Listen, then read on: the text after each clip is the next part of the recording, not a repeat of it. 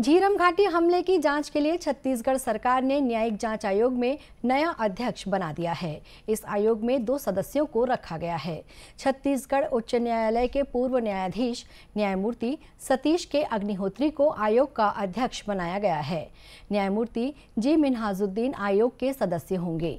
सामान्य प्रशासन विभाग ने आज इसकी अधिसूचना जारी कर दी। आयोग की अधिसूचना में कहा गया, जस्टिस प्रशांत मिश्रा आयोग का कार्यकाल तीस सितंबर को समाप्त हो चुका चुका है। इस बीच न्यायमूर्ति प्रशांत मिश्रा का स्थानांतरण आंध्र प्रदेश उच्च न्यायालय में हो गया है। ऐसे में सरकार ने आयोग में दो नए सदस्यों को शामिल करने का निर्णय लिया है। पूर्व में जारी जाँच के बिंदुओं के अतिरिक्त ये आयोग तीन नए बिंदुओं की जाँच करेगा। इसमें पहला बिंदु है, क्या हमले के बाद पीड़ितों को समुचित चिकित्सा उपलब्ध कराई गई? दूसरा, ऐसी घटनाओं की पुनरावृत्ति रोकने के लिए क्या समुचित कदम उठाए गए थे? तीसरे में अन्य महत्वपूर्ण बिंदु जो परिस्थितियों के मुताबिक आयोग निर्धारित करे। इस आयोग को छह महीने में जाँच पूरी कर रिपोर्ट राज्य सरकार को सौंपने का निर्देश हुआ है।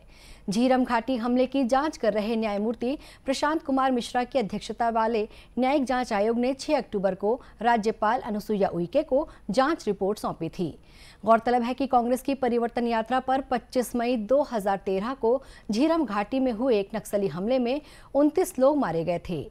इसमें पूर्व केंद्रीय मंत्री विद्याचरण शुक्ल, कांग्रेस के तत्कालीन प्रदेश अध्यक्ष नंद कुमार पटेल महेंद्र कर्मा उदय मुदलियार जैसे नाम शामिल थे।